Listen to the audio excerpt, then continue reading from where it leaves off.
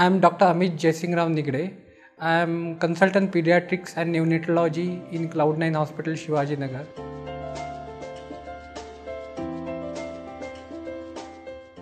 Babies in the NICU can be breastfed.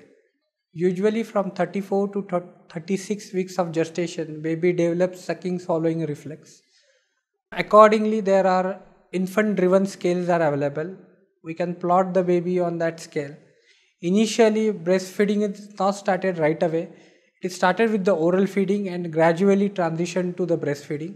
Can be breastfed but requires patience as well as support from the lactation. Know how much baby is feeding and is there is a stable weight gain on the oral feeding.